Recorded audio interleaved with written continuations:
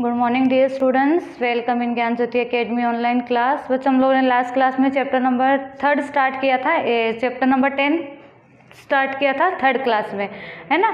तो हम लोगों ने इसमें क्या पढ़ा था? रिक्रिएशंस के बारे में। रिक्रिएशन का मीनिंग क्या होता है कि हम जो भी गेम्स वगैरह खेलते हैं मतलब हमारी बॉडी को रिलैक्स और क्या करना माइंड प्रोवाइड करना माइंडली फ्री करना, हमारे माइंड्स के ऊपर जो स्ट्रेस वगैरह होता है, जब हम काफ़ी वी बहुत ज़्यादा वर्क करते हैं।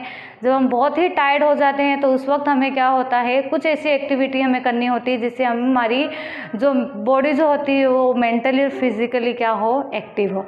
ठीक है? उस वक्त हम लोगों ने अदर फॉर्म्स ऑफ़ रिक्रिएशन पढ़ा था। रिक्रिएशन फॉर्म्स में हम लोगों ने क्या पढ़ा था? आउटडोर गेम्स इंडोर गेम्स है ना? जो गेम्स के बारे में पढ़ा था। अब हम पढ़ेंगे other recreational activity at home ये मैंने आप लोगों को थोड़ा वाले वीडियो में एक्सप्लेन किया था उस क्लास में, पर आज मैं आप लोगों को और इसमें बता देती हूँ, ठीक है? Reading story books drawing listening to music dance and watching television ये सब क्या है? हमारी रिक्रिएशनल एक्टिविटी है जो हम क्या कर सकते हैं? अपने घर पे कर सकते हैं, है ना? अब इसमें क्या होगा? Reading story books is a very goods of relaxing our mind, जो वो स्टोरी बुक्स वगैरह जो हम रीड करते हैं, उसमें क्या होता है, हम अपने माइंड्स को काफ़ी हद तक, बहुत ज़्यादा हद तक मतलब रिलैक्स कर सकते हैं।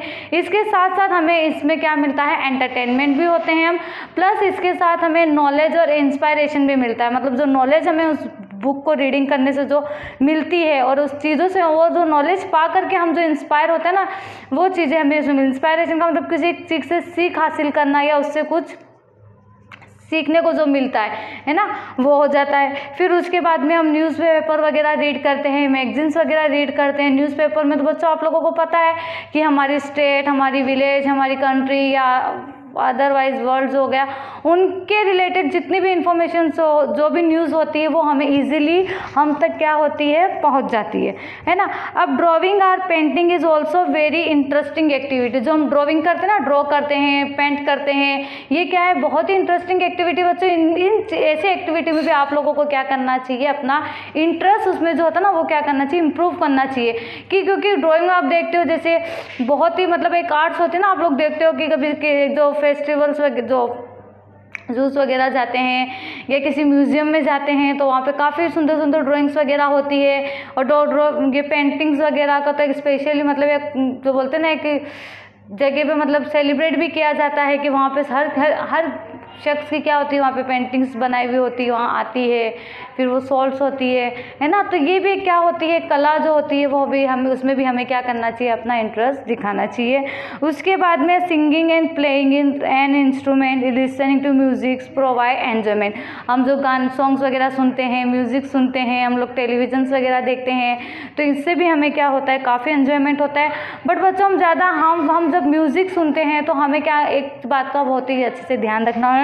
कि we listen to music while we are driving to a form work but we should near the music is loud but should not hear the music loudly हमें जो म्यूज़िक होता है वो लाउडली नहीं सुनना है, क्यों? क्योंकि बच्चा सबसे पहले तो उसका जो लाउडली म्यूज़िक सुनने का नुकसान जो है वो हमें खुद को ही होता है। कैसे होता है कि हमारे ईयर्स क्या होते हैं, उससे डैमेज होते हैं। प्लस हमारे जो नेबर्स होते हैं वो हमसे अनहैप्पी होते हैं, ठीक है? वो क्या होते हैं कि मतलब किसी को मतलब लाउडली साउंड्स पसंद होता है, किसी को नहीं होता है। तो अकॉर्डिंग टू मतलब कि आप लोगों को क्या करना चाहिए, जो म्यूज़िक्स वगैरह लिसनिंग आप जो लोग सुनते हो, वो काफ़ी स्लो आवाज़ में सुननी चाहिए। इसके अलावा आप लोग टेलीविजन्स देखते हो, उसके अंदर आप क्या देखते हो? बहुत सारे पॉपुलर सोर्सेज होते हैं एंटरटेनमेंट के लिए, जैसे न्यूज़ चैनल्स हो गए कार्टून चैनल्स हो गए सीरियल्स वगैरह हो गए, है ना? तो इन चीज़ों को भी आप लोग देख करके अपने घर पे ही काफ़ी क्या करते हैं एंजॉय करते हो। ठीक है? उसके अलावा काफ़ी मतलब टीवी, टेलीविज़न से भी हमें कुछ ऐसी जो होती इंटरेस्टिंग इन्फॉर्मेशन हमें मिलती है है ना? वो कुछ जो न्यूज़ वगैरह जो हम जहाँ पर हम जा नहीं सकते हैं न्यूज़ के थ्रू हमें वो चीज़ें उन जगहों के बारे में, है ना? उन सब चीज़ों के बारे में नॉलेज हमें मिल जाती है। घर बैठे ही हमें वो खब, वो जो न्यूज़ होती है उनका हमें पता चल जाता है। इसके अलावा अदर देन हो गए जैसे park we can have a fun we go to park जब हम पार्क वगैरह जाते हैं ना तो वहाँ जाकर भी हम क्या करते हैं? बहुत ही ज़्यादा एन्जॉयमेंट करते हैं।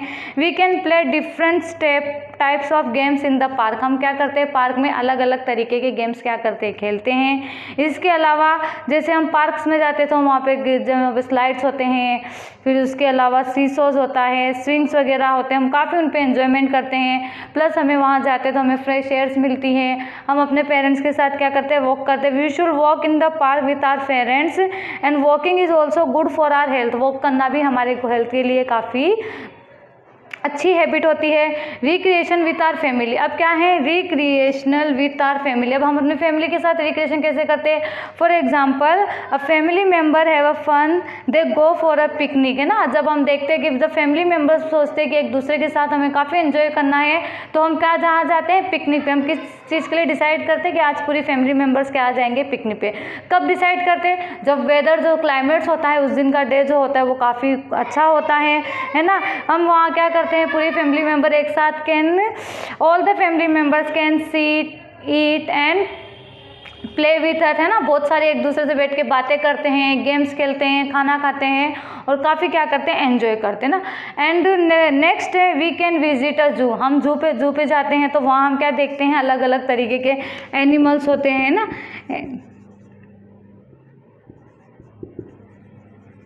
एनिमल्स हो गए।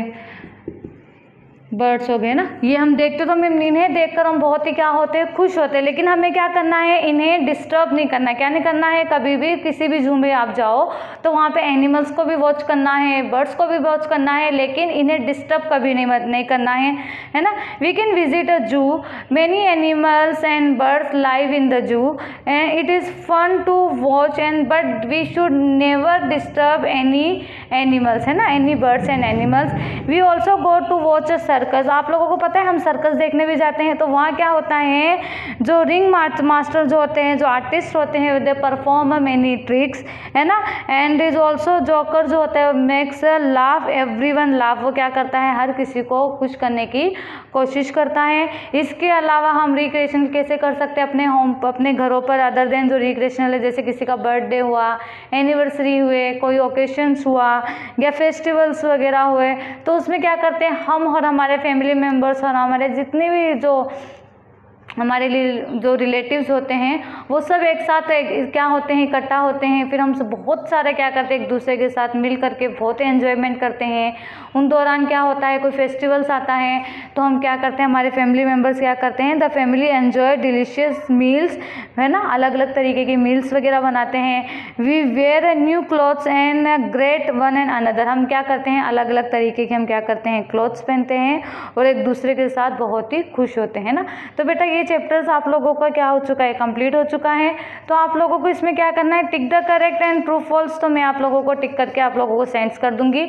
और हर बार की तरह आप लोगों को क्वेश्चन आंसर आप लोगों को पहले खुद सर्च करना है, ठीक है? इतना वर्क आप लोगों को करना है प्लस आप लोगों को क्या करना है, इस चैप्टर को अच्छे से रीड करना है। और हर मेन पॉइंट्स है, जैसे फॉर एग्जांपल हेडिंग जैसे रिक्रिएशनल विथ आर फैमिली इसके बारे में आप लोगों को जैसे इसमें तीन चीज़ों के बारे में बताया, जूस के बाद, जू के बारे में सर्कस के बारे में पिकनिक के बारे में और फैमिली के साथ जो हम भी, जो जो भी ओकेशन फेस्टिवल वगैरह सेलिब्रेट करते हैं। तो उन सब के बारे में आप लोगों को two two three three lines इस तरीके से मेरी तरह अंडरलाइन करके आप लोगों को लिखने हैं ना। तो आप लोगों को ये इतना वर्क करना है और बच्चों, आप लोगों को मुझे मेरे व्हाट्सअप नंबर पर जो भी आप राइट करते हो, मुझे मेरे नंबर पर सेंड करना है। ठीक है? Okay thank you students stay home stay safe